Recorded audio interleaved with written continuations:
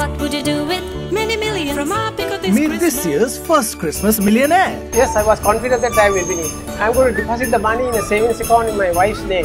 Well, I'm very happy about it and feel great. Now you too can win a million rupees every week. Simply shop at Arpico Supercenters and be our next Christmas millionaire.